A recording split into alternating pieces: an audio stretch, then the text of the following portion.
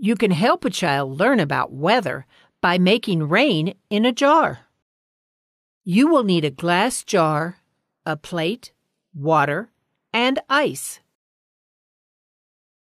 Heat the water until it's steaming.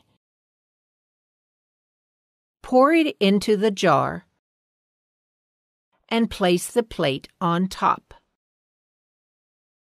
After waiting a few seconds, the child can put the ice on the plate. Then they can watch what happens. You can explain that water went up into the warm air, and when it hit the cool plate, it formed into water drops that came back down. Then you can say, This is how rain is made.